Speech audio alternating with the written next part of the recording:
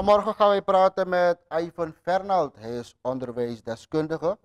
Want uh, grote zoon die vakondre doet onderzoek in de afgelopen scorejari 2020. PA Chawan doorlichting komt voor uh, heerscorejari Samsa vanaf COVID-19. En heeft ook een boek geschreven genaamd Het roer moet om waar hij actieplannen voor een beter onderwijs heeft neergepend. Dus, hoe volgt gaat door die media? Dat is een berekend dat nou, hoe moest nodig Bra Fernald uitvoeren, leg er naar uit. Sana model, soort actieplannen, land die moest tekenen voor make a onderwijs voor Stranang Goromoro. Goedemorgen en welkom bij ons in Mama Taki. Hi, goedemorgen. Ja. En mijn baan de Spikkie Odi ook toe aan de luisteraar. Ja, de kijkers. Ja. Meneer Fernald, u heeft in het jaar 2020, het schooljaar 2020, doorgelicht. Althans, de resultaten van het schooljaar. Waarom heeft u specifiek gekozen voor dit schooljaar 2020? Omdat uh, we nou bezig zijn met het jaar 2021 en de resultaten van 2021 nog daten. Ja. Dus Samido Miluko van 2020 naar het laatste jaar volgens het oud model. Ja. Met het oud model bedoel ik naar de schrift examenprogramma, naar de schrift uh, toetsen, dus de examen zelf. En na 21 wordt je van tijdperk.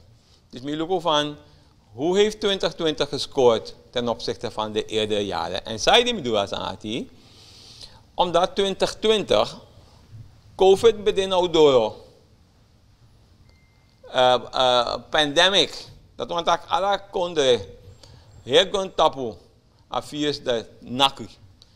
En ik zeg, het heeft het sociaal leven ontwricht. Het heeft het economisch leven ontwricht. Het heeft het cultureel leven ontwricht. Maar ook toe aan ontwricht onderwijs. Want heeft COVID daar maatregelen tikkie en want de maatregelen wabi tapaskoyo. En un tapaskoyo. Lanti tapaskoyo. Want lanti hebben uh, verantwoord toe. Noodgedwongen. En als je look als schooluitval met aan die zie. Als moest op een effect op de leerlingen, op de studenten. Want als je 50% maar, oké, okay, met overdrijven van -hmm. maar als je veel langer thuis gezeten hebt, daar ja, een leerachterstand. Ja? Dat want dat je leervertraging. En ik ook van sana resultaat voor 20 ten opzichte van 2019. En dat we zien in 2020, ondanks een lange schooluitval, dat de resultaat, dat we een de slagingspercentage, dus om een uh, leerlingen, studenten slaag, Badi Morohi, ligt 2019. En altijd, dat nou interessant, dan moet je afvragen van, wat zijn de oorzaken daarvan? Om een voorbeeld te geven, HAVO, Oesap HAVO, altijd HAVO bij lagier, hè? waren niet tevreden. Uh, HAVO bij nog geen 60%. Maar nu a score uh, 75, GAHI 75,5 in elk geval 31% hoger. En dat is interessant om te kijken naar de oorzaak. Want een meetinstrument voor 2021 veranderen. Dan gaan we niet meer kunnen meten met vroeger. We gaan dus kunnen meten vanaf 21 wat daarna komt. En dan ben ik me dingen gaan afvragen, want je moet natuurlijk niet alleen maar kijken naar cijfers, maar je moet cijfers in verband brengen. En als je cijfers in verband brengt, dan krijg je die waarom-vragen. Ja. als je die waarom-vragen uh, gaat beantwoorden, dan krijg je meer inzicht. En dan aan inzicht die zie, kan je het onderwijs ook beter organiseren. Ja. Dus dat nou aan, je bedoelt ook op Ja. Kijkers, we op alleen ook toe, want als u op een actie bij Fernald, dan kan bellen naar studio dan ik kan stel uw vraag. Dan uh, want kan de users doen naar een actie. En uh, onderwijsdeskundige Deja. En Deja altijd. Vandaag is zijn beurt, dus we gebruik van gelegenheid voor stel Bra Fernald een vraag. Meneer Fernald, maar u heeft aan het begin aangegeven dat u het schooljaar 2020 heeft uh, genomen als meetmoment, omdat met het jaar 2020 een nieuw onderwijs. 21. Oh, 21 begin. Uh, is Ja toch, nieuw? want nee, kijk, het resultaat wel op. De studenten zijn bevorderd, Ja, over zijn gegaan in 2020. ja. Dat was nog volgens de oude structuur. Oh, oké. Minister Levenstak, no, no. En ook toen ik presenteer dat van lespeki fasi mi buku jeng. Ja. Tak no, no, aluke mi buku. En efficiënt resultaat, ach, verspilling. Dat want zoveel mensen blijven zitten. Zoveel mensen zijn drop-out. Toch? Uh, de leerinhouden, dat is niets anders dan een curriculum. Zou je leren, een methode is achterhaald. Want we moeten niet opleiden voor het verleden. Dat dacht no, no, we gaan een nieuw systeem. En een nieuw systeem. En een nieuw systeem gaat nu in. Ja, en je weet, 2021. minister Lievens, dat hier, hè, zittenblijvers, no demo, hoor. Ja, Uh, kleinere klassen, MULO op A, B, C, D, kan de D, maar in elk geval A, B, C. En kan de later een E-econ. En zo op meer maatregelen. ja. Dus, mi attack in mijn boek, luister, de toestand is precair. Probleem, we moeten draaien aan de paarboto. We moeten change koers. Dat, dat, dat is die titel eigenlijk, toch? ja. Het roer moet Het om. roer moet om. Change koers. Want per ons nou, we bedrijf basten. We zijn squala. Ja, En minister Levens heeft een eigen interpretatie aangegeven, dus om dingen te veranderen. En eh, dus dat dingen niet zo kunnen blijven is duidelijk. Ze moeten veranderen. Het enige wat ik zeg is, we moeten het goed voorbereiden. Minimaal man van een goede voorbereiding, solide voorbereiding. Toch? Heel goed voorbereiden, hoge eisen, zodat if we vooruit dat probleem nog dicht. Nog een kinderziekte. ja. Maar ik snap natuurlijk wel dat het moeilijk, omdat uh, capaciteit sa, sa defa nodu. Ah, Dus, dus dat na een, een menskracht. Dus het, het, het, de deskundigen op specialistische gebieden op het ministerie zijn naar mijn oordeel onvoldoende. Mina tak dat dape deskundigheid nog daar. Er zijn mensen die heel veel weten. Toch? ja. Maar er moet er meer komen, want je moet, je moet goede mensen hebben. If jou een voetbalteam, dat je hebt uh, Messi, en jou een gevaarlijk doelman, en jou een gevaarlijk middenvelder, dan heb je nog geen goed team. Je moet nog gaan aanvullen. ja. Dus het, het ministerie behoeft elkaar institutionele versterking. Om het transformatieproces te kunnen sturen. Dus nog eventjes. eh, Jouw transformatieproces, dus een, een, een transformatie van denken ook. De English mind tak mind shift. Mijn chef, ja. Toch? Dat tak paradigm shift. En onderwijs die een beetje crisis, no no. Omdat, we die een maatschappelijke crisis toe. Ja, En de uh, pandemie slaat toe. We moeten scenario's maken van oké, als de school volgende week open gaat, zou het doen.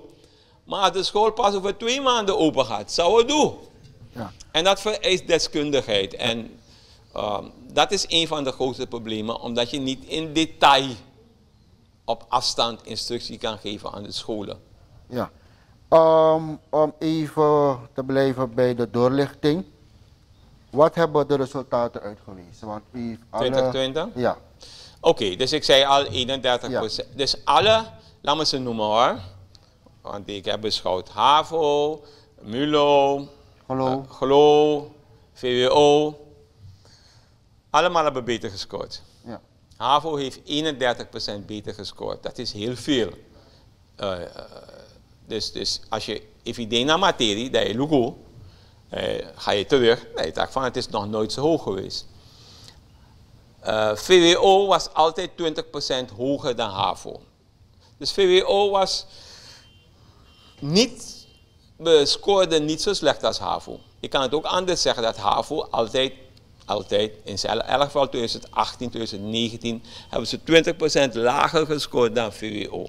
Nu zien we dat HAVO en VWO hetzelfde slaagpercentages hebben. Ik dacht 85% 85,5% denk ik uit het hoofd. Dus, dus omdat HAVO een grote sprong voorwaarts gemaakt heeft. Als je kijkt naar GLO, dan zie je 75% is het slaagpercentage. Terwijl het vorig jaar uh, onder de 60 was. Ik dacht 59% Maar het jaar daarvoor was het 52 Ja.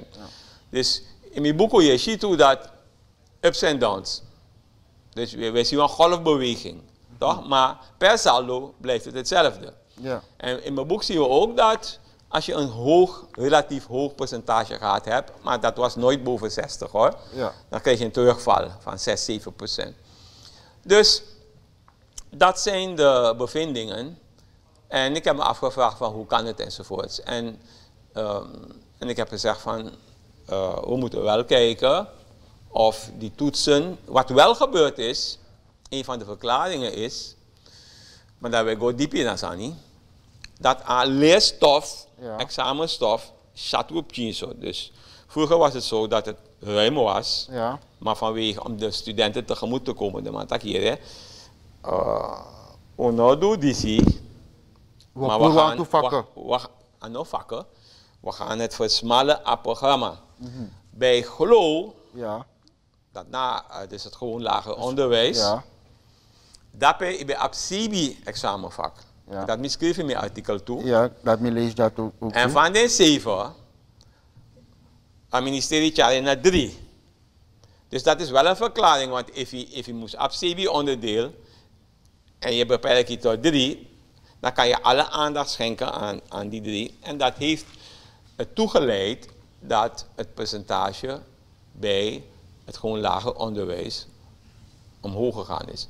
Maar in 2021 gaan we die GLO-toets niet meer hebben. Ja. Dat na zesde klas toets. Maar uh, laat me het anders formuleren. Mi en zo, die toets geeft niet meer de selectieve waarde. Mm. Dus om te. Hoe het precies is, dat moet de minister zelf doen, omdat no met dat persoonlijke titel. Ja, maar als de man ons gaat toets af, dan valt hem ching ostromo door um, hoe gaan ze um, een andere schoolniveau moeten kiezen?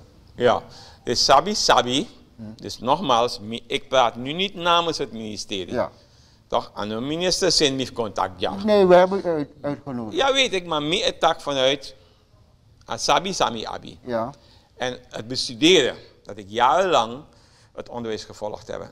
heb. En wat ik van begrijp is, wat is de huidige situatie, dus tot en met 20. Hier, ja, een gloedtoets. En als je slaagt, ja, gloedtoets, dan ga je mulo. Als je nou slaagt, dan ben je lugu, zijn cijfer samenstelling. Ja. Oké, okay, dan ga je LBO, dat is naar lager beroepsonderwijs. Ja. En als je nu kan gaan lager beroepsonderwijs, omdat de cijfer 4 lagi, dan blijf je in, in, in de zesde klas. En het is wel zo dat uh, in de nieuwe situatie, aglotus no demo yo, mi dat, amus dele kwa een moment. Ja. Dat een moment. En minister Taki, er gaan meerdere toetsen komen. En leerlingen gaan over. Dus ze gaan um, naar zeg maar de zevende klas, om het zo te doen. Te doen. De zesde klas, zevende klas. Omdat we verlengen basisschool met nog twee jaren. Okay. En kijk, ik zeg, kijk, het is niet helemaal zo dat Atoets Wang ben bepaald aan eindcijfer. Want de kwartaalcijfers voor de school telden mee.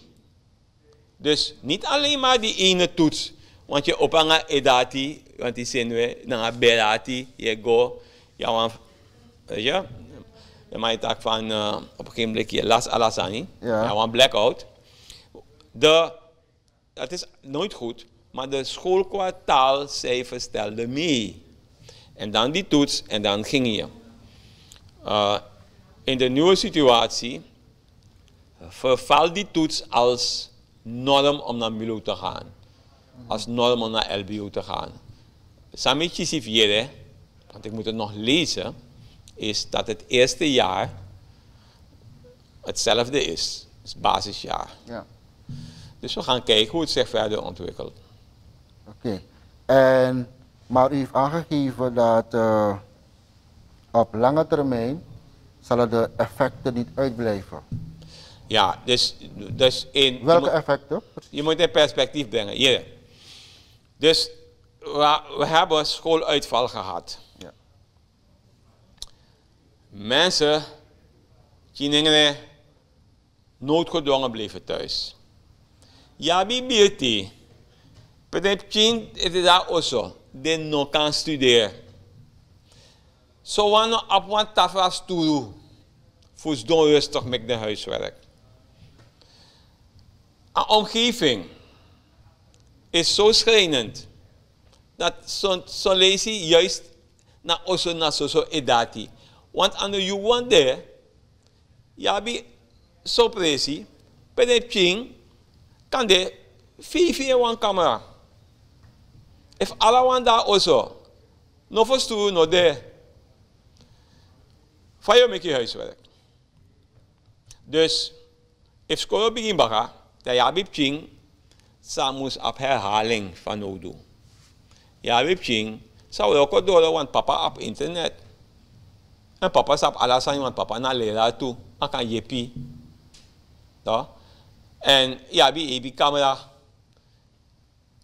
Ah, je hoeft niet druk te maken, zei je nyang. Ik panang mij zo dat, hé, eh, te opo, ben je daar met beleg.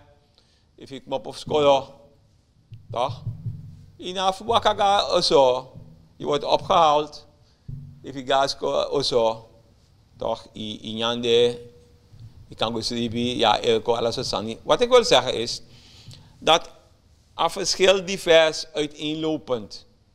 Maar zo is het ontwikkelingslevel uh, ook. Dus als je kinderen krijgt, dan heb je die hetzelfde zijn gebleven. Je hebt die vooruit zijn gegaan, want ze hebben in de gedwongen vakantie kunnen leren, kunnen studeren.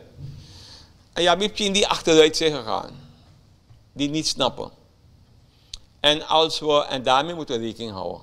En ik zeg, als je niets doet en ervan uitgaat, ik heb het genoemd in het artikel, een miskenning van de gedifferentieerde beheersingsniveau, dan wordt je het probleem. Dus we moeten nu bij de herstart door testjes precies in kaart brengen wat beheerst elke student en wat beheerst hij niet. En dan moet je een traject gaan uitzetten voor groepen die het niet beheersen. En dan nog een reorganisatie van het onderwijs. Dus je kunt, als je vernieuwingen hebt, veranderingen, dan moet je ook het apparaat hebben en de mechanismen voor doorwerken. Dat wat. Ja. Dan kan je niet op die oude manier. Je moet meteen weten, dit is de beginsituatie. Toch? En dan moet je meteen mensen erop zetten. En het hoeft niet die klasseleraar te zijn.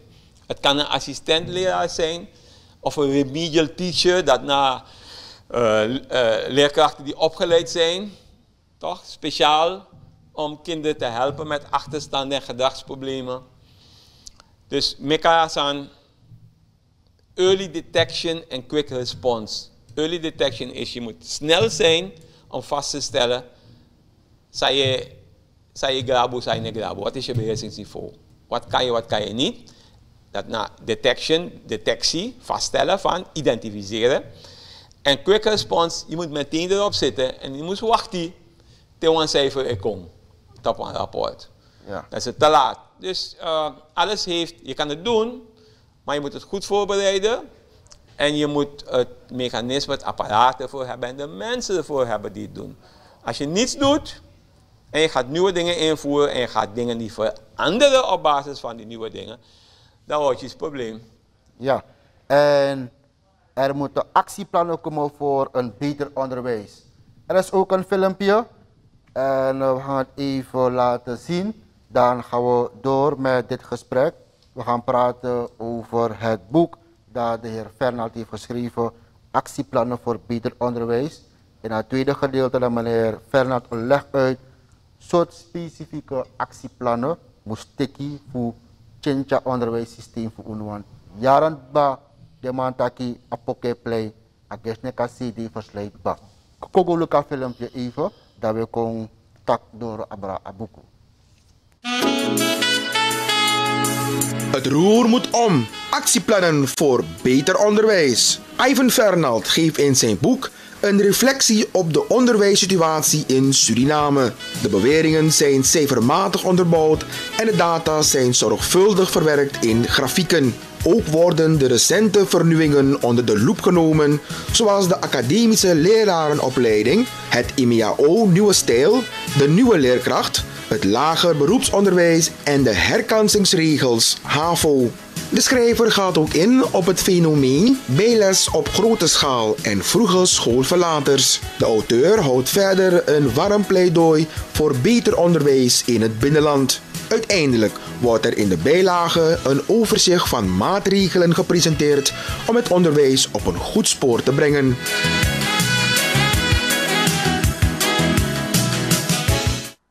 Lukuma, ik kan bel altijd naar STVS, no no de de live, voor actie meneer Fernand van vraag, abra, denk denki voor zetten onderwijs en kan if je op een idee toe, dat je kan leggen voor ook toe. Meneer Fernand, actieplannen voor beter onderwijs. Ik heb, in dat filmpje heb ik uh, enkele zaken gehoord, vooral um, herkansing, beter onderwijs voor het binnenland. Blokking komt zo soort actieplannen land moest ik in korte termijn, middellange termijn en lange termijn voor zorgen dat het onderwijssysteem dit op een niveau. Oké, okay. dus ik ga praxeren na één. Uh, zou ik haar doorstroming.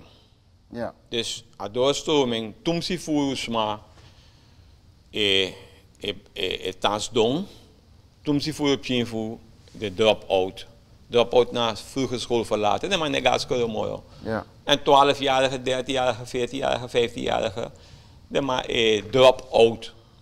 En bijvoorbeeld, um, we doen een onderzoek in 2015 voor de LBO, lager beroepsonderwijs, hebben die gemiddeld 36% Dus mogelijk een derde deel. Elibi score of Elibi score en sa ipsa. Na een economische crisis. Want Usabi in wat voor situatie we leven. Ja. We weten ook hoe we terecht zijn gekomen in, in, in, in, in deze crisis. Ja, klopt. We zullen het even daarover niet hebben, ja. maar Unsabi, hoeveel arbeidsplaatsen zijn er? Dus elke 12, 13, 14-jarige die uitvalt, mm. nou een risico. En bovendien, wie allemaal hebben verplichting voor zitten onderwijs, zodat alle op een boom kans. Dus ja. doorstroming naar een grondpraxie. Ja. En ik moet zeggen dat de minister dat nu oppakt. Dus doorstroming is één. Chinetaans doen. Uh, ik zeg die doorstroming moet verbeteren. Hmm. En niet op wat, hoe meer ondersteun minister Leven. Niet alleen omdat we een goede relatie hebben, wij dezelfde politieke partij zijn. Nationale Partij Suriname. Mm -hmm. En is op een Nationale Partij Suriname nog een partij. Altijd de maar denken over onderwijs. Ja. Je kan tak Saiwani, maar het is een partij die nog het meeste nagedacht heeft over onderwijs. Ja. En we willen het product maken. Dus niet alleen maar wat uh, ik er goed ken, maar ook door het product onderwijs. Mm -hmm. Kwaliteit van het onderwijs belangrijk, want onderwijs is bepaald op termijn zou ik welvaart en welzijn. Dus if je genoeg money niet zakken. Als je een bepaald ontwikkelingsniveau hebt, heb je meerdere kansen. Ja. Dus een doorstroming naar één. Maar tweede toe, een grondpraxie, een kwaliteit. Dus je kan niet opleiden voor het verleden. A kwaliteit moet hier. Het moet de internationale standaarden moeten we aan voldoen. Ik zeg niet dat we Surinamers opleiden voor gedoe ook een Nee, maar je hebt internationale standaarden. Want een maatschappij ontwikkelen in ja. Het onderwijs kan niet achterblijven. Dezelfde oude boeken zijn wel vertrouwde boeken, ja. maar we klampen ons te veel vast aan oude vertrouwde boeken die misschien achterhaald zijn. Terwijl de Chino eh, eh, de bezig naar eh, 3D-printing, ik denk hier over ehm, circulaire economie, ik denk hier over wallo, dus, dus, dus technologische dingen. Dan moet je ook kijken van, kan ik dat niet een beetje introduceren in het onderwijs. Dus, dus dat. En agroonpraxie is ook, van mij, ik zeg van, kwaliteitsonderwijs op het totaal grondgebied van Suriname. En dat nou een commitment. Ja. Want dat betekent dat de Ingi Brada van UNU, de Maron Brada van UNU, die niet in de kuststrook leven, dat die recht hebben op kwaliteitsonderwijs. Dat wil dus ook zeggen kwaliteitsleerkrachten. En dat moet worden gecapitaliseerd. Dat want dat je moest doen een pen en papier, dat van soort actie we doen, wat gaat het kosten? Want het beste wat je het binnenland kan geven, is niet buitenboordmotor. Is wel leuk. Ja. En de man heb van nodig doen. Want de man ook een paraboot lek voorzien. Ja. Zat man bij paraboot lek voorzien. Die pabe chami tapse. En mijn aksama jongen. Of de man doet bodybuilding. Even man de ching. Toen was ik 5, 6, 7 jaar. Maar goed, ze moeten mee met ontwikkeling. Maar het beste wat je ze kan geven is leren. Ja? Teki skoro. Sabi. Ontwik na koni. Dat is het beste wat je ze kan geven. En kijk, de binnenlandse oorlog heeft veel kapot gemaakt daar. Maar een neveneffect is wel geweest dat de man vluchtte naar foto. En nu zie je dat omdat ze beter onderwijs gehad hebben in de kuststrook, is dat omheen intellectuelen uit het binnenland, met name de Marons, en met name de vrouwelijke Marons. Golukutap Universiteit, Golukutap IOL, Instituut voor Opleiding van Leraren, want met je les dat IOL. Daarna verhouding zie je heel veel Maron vrouwen. Minder Maron mannen.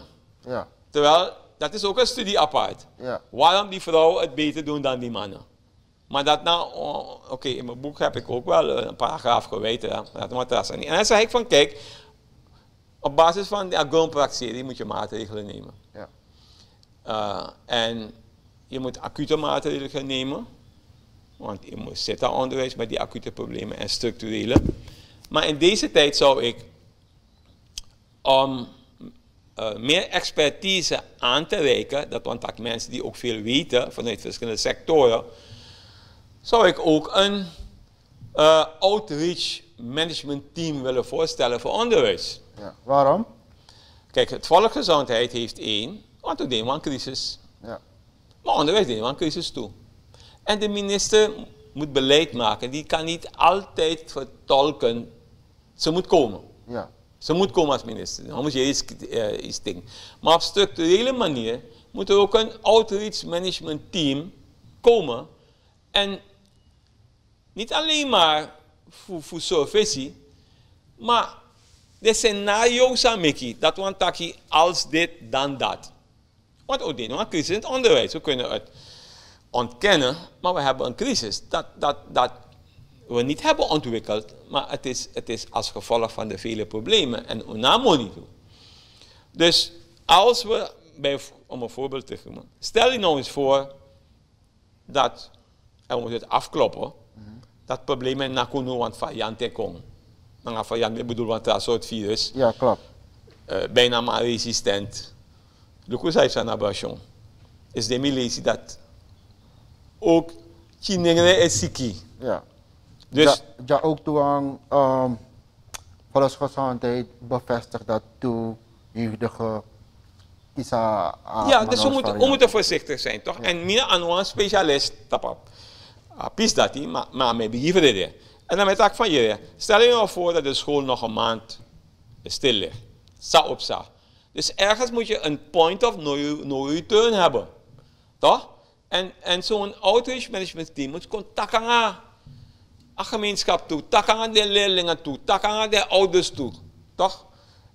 En natuurlijk ook de minister, maar niet alleen de minister. Dat is een van de acute dingen die naar mijn oordeel zouden moeten gebeuren. Oké, we gaan afronden. U heeft plannen hier neergepend. Hoeveel gaat dit ons land kosten? Uh, dit boek gaat, het, gaat u 200 SID kosten als u het uh, koopt bij Vaco. Nee, nee, nee, En nee, nee. nee, nee. Om men ook Costa. Condre, hoe implementeert de plannen? Misabi. Oké. Ja, maar ah, misap zei je bedoel. Ah, En if UNO implementeert die plannen, gaat het onze dubbele kosten. Ik heb in het boek niet gebudgeteerd, want anders zou ik het in US moeten doen. ja. Ik heb in mijn boek heb ik concreet aangegeven, dit is een probleem, dit is een maatregel, Samustiki, Ja. want ik heb eerst conclusies getrokken Ja. en dan die aanbeveling en dan de maatregelen Ja. in een reddingsplan voor het onderwijs. Ja. Dus mijn budgettering Oké. want dan gaan koersverschillen, is geen probleem. Maar wat ik wil zeggen is, alla den kunden, Ja. tap gewoon tapu. Sa investeer verstandig in onderwijs, allemaal gahi. Niet je natuurlijke hulpbronnen zijn belangrijk. Human capital. Sa de niet tontong, sa de niet hersenen. Dus de mensen. Look Venezuela toch? Grootste oliereserves. Maar het probleem dat ding. Ik zeg niet dat onze oliereserves ons geen kansen geven. Ze geven ons kansen. Ja. En ons benutten kansen. Maar gaat op het verstaan hoe het is. Ammonie zou je verdienen, je moest investeren in onderwijs. Je moet investeren, maar in een onderwijs, naar lange termijn investering, dat je ontwikkelt wat ik noem in een groot beroepenveld, die nodig zijn voor de genererende sectoren en maatschappelijk relevante sectoren. Want die mensen die je opleidt, die moeten het land weer gaan bouwen, opbouwen. En dat nou een lange termijn investering. Wat we nu moeten doen is, Ja, tot slot. uh, het onderwijs staat niet alleen. Uh, binnen het herstelplan moet het zo zijn dat er consensus bestaat over de richting die minister Levens op moet Ja. en de noodzakelijke randvoorwaarden dat er ook politieke ondersteuning is om er geld in te stoppen. Want ik ben nog niet van overtuigd dat we het belang daarvan inzien en dat er genoeg investeringen zullen komen in Ja. het onderwijs. Meneer Fernald, ik denk dat het laatste woord abra a verbetering van onderwijs naar takete. Men gaat nog lang discussiëren over dit boek en over de actieplannen. Maar uh, me versteer u dat ne kondre van of chifa kondre iteka deka ifu schrijven van het onderwijssysteem voor strana moest um, veranderen. Ja, en je mag sabi dat uh, men ondersteunt ook toe uh, de minister Levens, niet alleen maar mo- morele ondersteuning, maar ook met mijn, mijn inzichten, mijn denkbeelden, toch? Want ik heb er wel over nagedacht. En misschien komt er een tweede boek. En tot slot, een videoclip, dat was een cadeau. Mama heeft me bel me. Mama zei, je hebt een boek geschreven, dat vind ik vaarlijk leuk. En ik een videoclip en dan ik een cadeau. En dan maak ik doen naar Ernesto Muller. Oké. Dus aboom taki. Ja, thank you.